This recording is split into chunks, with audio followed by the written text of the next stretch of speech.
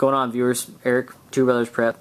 I took the $40 worth of food from our $40 food prep challenge video that Kevin and myself did and I stuck it into one of these rollaway bins that you can store underneath your bed. Now one thing you will notice is that the water is different.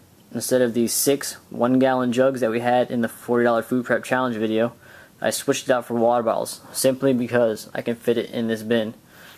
Now I live in an apartment so I have to make, make use of the space that is available to me and water bottles fit in this plastic bin and the plastic bin fits underneath my bed so that's why I went with that. Now if you're looking for a breakdown of what we bought for $40 you can check our website at twobrothersprep.com or you can check out the video below. I'll put a link. Thanks.